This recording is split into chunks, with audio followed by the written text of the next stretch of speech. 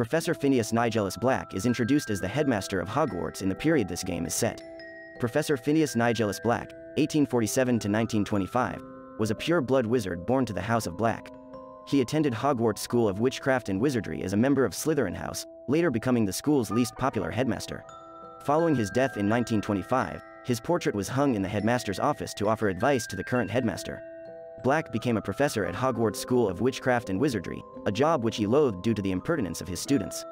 He was later appointed as the headmaster of Hogwarts by the British Ministry of Magic, accepting the position only for the prestige associated with it, and showing very little interest in acting as a role model or in children's education.